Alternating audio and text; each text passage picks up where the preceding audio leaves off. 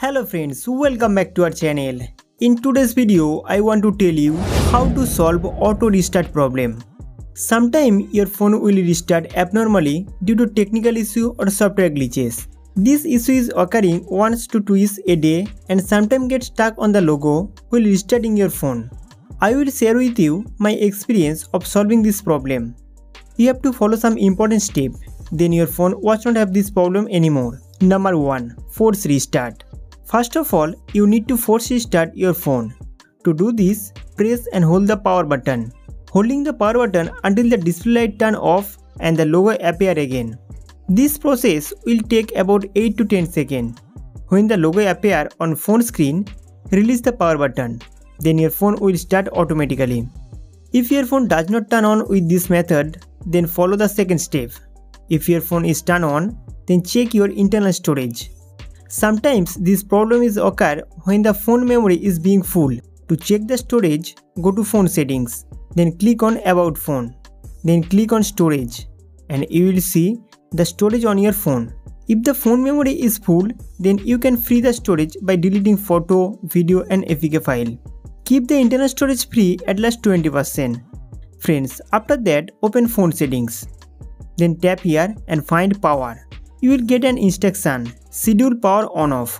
Click on it to open this function. If power on and power off time is enabled here, turn it off. Otherwise, your phone will restart automatically.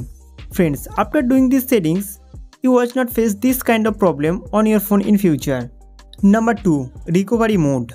If your phone does not turn on after force restart, then you need to restart the phone by entering recovery mode. To enter recovery mode, press and hold the power button and volume plus button simultaneously. After that, the screen light turn off and on again and you will see the logo here. Now release the power button and keep holding the volume plus button until recovery mode open. In this mode, touch screen does not work. So you can press the volume button to up and down and press the power button to confirm. Here the reboot option is selected. Now click on the power button once.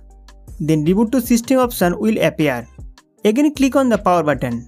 After that, your phone will restart in few minutes. Usually, if there is a technical problem in your phone, it is solved only by doing a force restart. If still not resolved, follow the next step.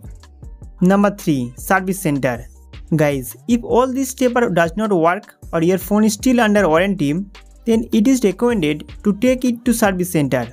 Nor either your phone motherboard is damaged or the phone software has crashed.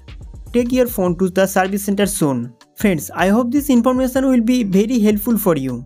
So don't forget to like this video and subscribe to our channel for more informative video.